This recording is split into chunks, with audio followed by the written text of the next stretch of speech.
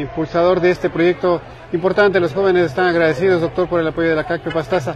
¿Cómo ha vivido esta jornada? Bienvenido, doctor. Bueno, en realidad yo quiero recordar que este proyecto nació hace más de 10 años y se efectivizó hace 8 años con el proyecto Juventudes CACPE, donde tuvimos la oportunidad de tener más, más de 200 emprendimientos.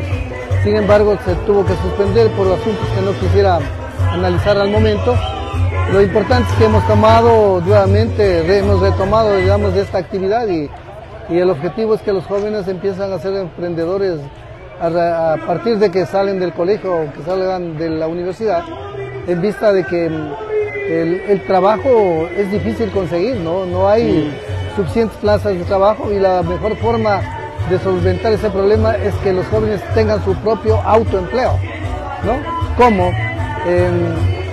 Descubriendo sus habilidades, sus capacidades en el, tema de la, emprendimiento. Y en ese camino nosotros estamos ayudándoles con capacitación, con, eh, con motivación y también dándoles a conocer las obligaciones que tiene un emprendedor con las diferentes entidades del sector público, hablemos para, para la patente, el SRI, etcétera, etcétera.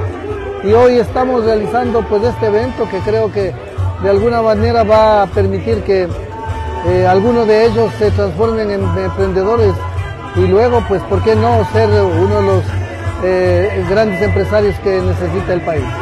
Doctor, eh, ¿se ha pensado en ir institucionalizando, es decir, cada año ya como esta feria? Bueno, esto se institucionalizó hace ocho años atrás.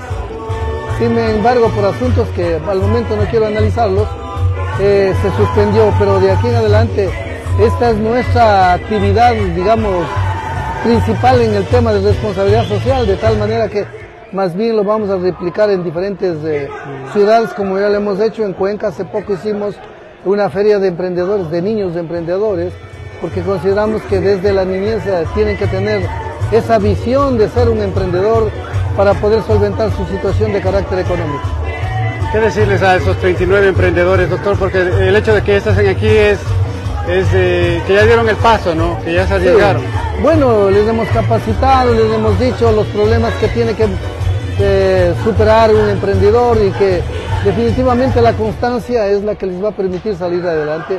Y nosotros no los vamos a abandonar, vamos a hacer eh, un monitoreo y vamos a tener la oportunidad, si es posible, de adquirir sus productos, de, de promocionar sus productos para que la gente consuma estos productos, ¿no? que son la mayoría con materia prima de la localidad.